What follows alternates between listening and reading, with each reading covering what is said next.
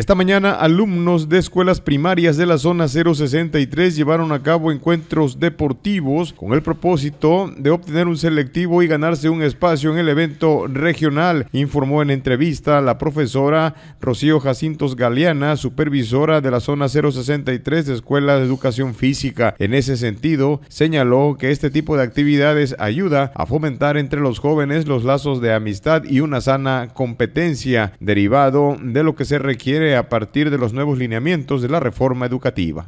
Son juegos deportivos escolares que los hacemos cada año para que los niños participen y el ganador se va al regional, a representar el nacional. ¿Cuántas escuelas están participando? O vinieron 10 escuelas. ¿sí? ¿Qué, actividades están realizando? Atletismo, básquetbol, fútbol.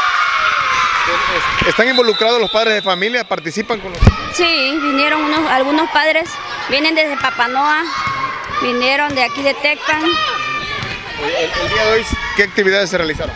Atletismo, este, 75 metros planos, 4 por 75 metros relevos, 300 metros de resistencia y este básquetbol, varonil y femenil. Oiga, ¿y el día de mañana qué tienen planeado? Mañana es fútbol nada más, varonil y femenil.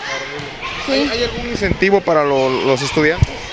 No, desgraciadamente me, un reconocimiento nada más, sí. Este, obviamente pues esto es, habla de un selectivo. ¿Dónde se va a realizar el regional? En la ciudad de Ciguatanejo. la escuela que salga ganadora es la que pasa al regional. De, estos alumnos, eh, ¿conforman alguna selección? No, son nada más los, los mejores de, las, de cada escuela. ¿Algo más que quiera comentar más? Este, invitar y agradecerle a los padres de familia, a los directores que les dieron la facilidad a los maestros de traer a los niños, ya que esa participación les sirve a ellos como este, recreativo para seguir implementando el deporte aquí en la región. ¿Ayuda mucho para su formación? Sí, bastante, ya que de ello depende el desarrollo de los niños. Ese es uno de los objetivos que tienen planteados como asignatura de educación física.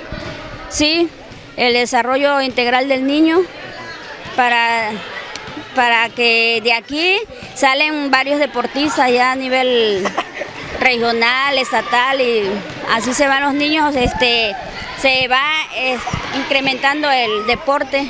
La profesora dijo que el día de mañana viernes estarían llevando a cabo actividades de fútbol, de voleibol y básquetbol y lo que se requiere es que a partir de ahí se designe una escuela que va a representar a las demás en la etapa regional. Para Canal 6 informó Guillermo Hernández.